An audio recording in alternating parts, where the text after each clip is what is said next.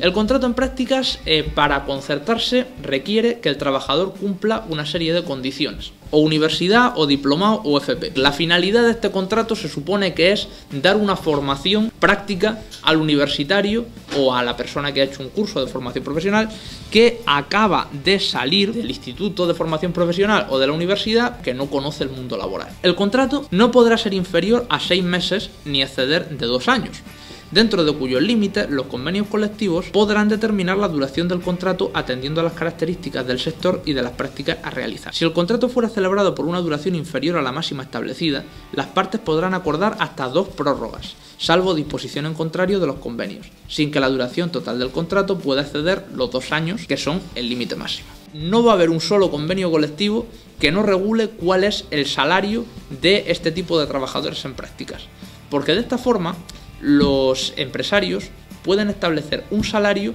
que se puede quedar perfectamente en el 60% del salario de un trabajador normal. El salario de un trabajador normal en 1.000 euros, estamos hablando de 600 euros. Ningún trabajador podrá estar contratado en prácticas en la misma o distinta empresa por tiempo superior a dos años en virtud de la misma titulación o certificado de profesionalidad, pero sí de distintos certificados de profesionalidad. Esta es una treta que puede obligar a la persona que ha salido de la universidad a tirarse cuatro años trabajando en una situación de precariedad absoluta, cuatro o más.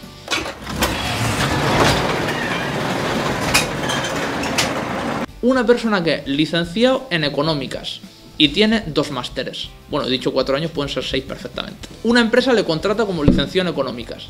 Otra empresa, o la misma, le contrata como persona que posee el título de máster en economía aplicada.